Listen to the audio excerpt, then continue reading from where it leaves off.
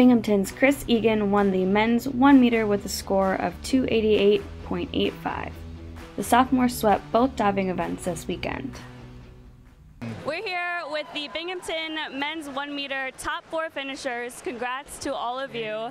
That can be hard, but you guys did it. Chris, I want to start with you. Congrats on sweeping the one meter and the three meter. Talk about just those two events for you.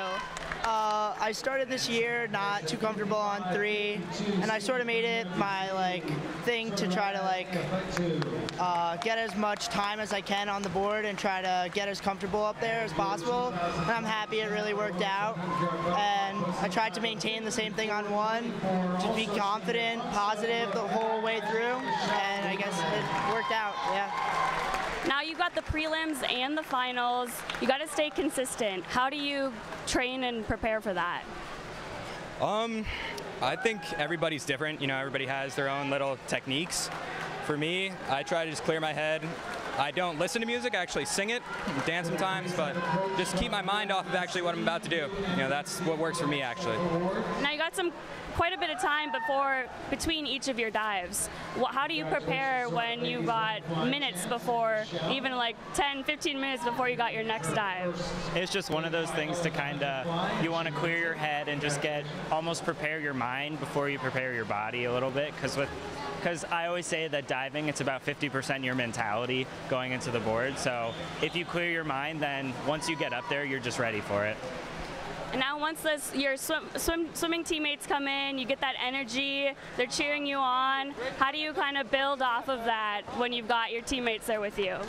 Um, it's so awesome because especially here at Binghamton, everyone's one. Swim and dive team are together, and it's just so nice to be on such a supportive team because just makes happy diving is good diving, I say sometimes, and I just think that that's what the swimmers bring to the event.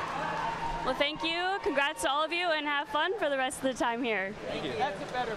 New Hampshire's Anna Metzler set her third consecutive conference record. The sophomore won the 400 IM in a time of 4:11.56.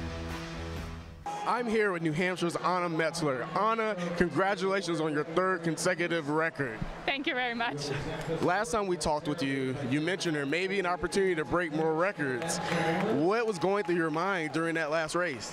Um, it was just wanted to go fast. I wanted to like make it, improve my time, and yeah, just race.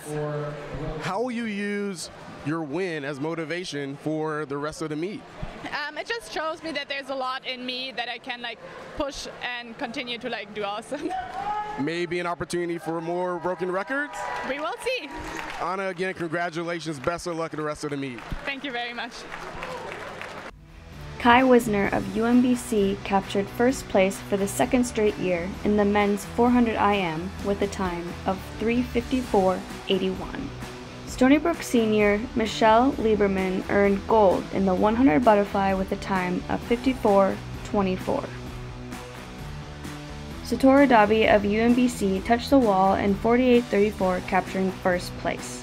Caitlin Smoller of Binghamton captured gold in the 200 free with a time of 151.51. UMBC's Ilya Retsev earned another gold this weekend in the 200 free, making it his third straight 200 free title clocking in at 137.34. Jamie Lum of New Hampshire took first in the women's 100 breaststroke with a time of 101.39, while Binghamton's Ryan Board set a new meet record in the 100 breaststroke with a time of 54.97. Melissa Dingle of New Hampshire defended her title in the 100 backstroke and touched the wall in 55.58. Garrett Wilchowski of UMBC captured gold with a time of 48.59 the New Hampshire Wildcats set a new 400 medley relay conference record with a time of 340.72, and UMBC's men's 400 medley relay repeated as champions with a time of 315.54.